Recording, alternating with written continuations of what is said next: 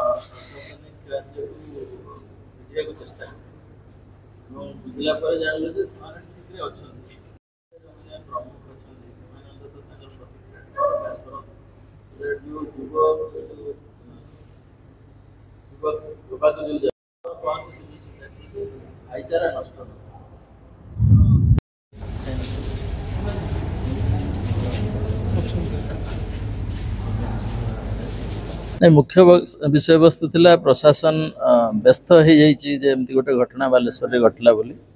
ଏବଂ ସେଥିପାଇଁ ଆମେ ସ୍ୱାଗତ କରିବୁ ଯେ ପ୍ରଥମ ଥର ପାଇଁ ସେମାନେ ଯଦି ସିଭିଲ ସୋସାଇଟିକୁ ଡାକିକିରି ତାଙ୍କର ମତାମତ ନେଇଛନ୍ତି।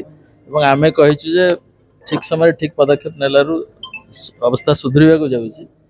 କିନ୍ତୁ ଆମେ ସିଭିଲ ସୋସାଇଟିର ସଭ୍ୟ ହିସାବରେ ଅନ୍ତତଃ ଅନୁରୋଧ କରିବୁ ସମସ୍ତଙ୍କୁ ନିବେଦନ କରିବୁ ଯେ ଯିଏ ବି ଏ ଘଟଣାରେ ସବୁ ସମ୍ପୃକ୍ତ ଅଛନ୍ତି ସେମାନେ ନିଜକୁ ଓହରେଇ ନିଅନ୍ତୁ। ବାଲେଶ୍ୱରର ଯେଉଁ ପରିଚୟ ଅଛି ଭାଇଚାରାର ସହର ବୋଲି ତାକୁ ଫେରେଇ ଆଣନ୍ତୁ।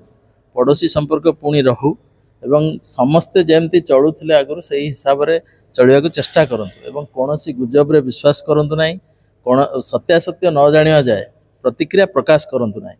ଏଇଥିରେ ଯେଉଁମାନେ ଅଛନ୍ତି ଇନଭଲ୍ଭ ସେମାନେ ତ ତାଙ୍କ ନିଜ ବ୍ୟକ୍ତିତ୍ୱ ନିଜ ବ୍ୟକ୍ତିର ଭବିଷ୍ୟତ ସବୁ ବାଜିରେ ଲଗେଇ ଦେଉଛନ୍ତି।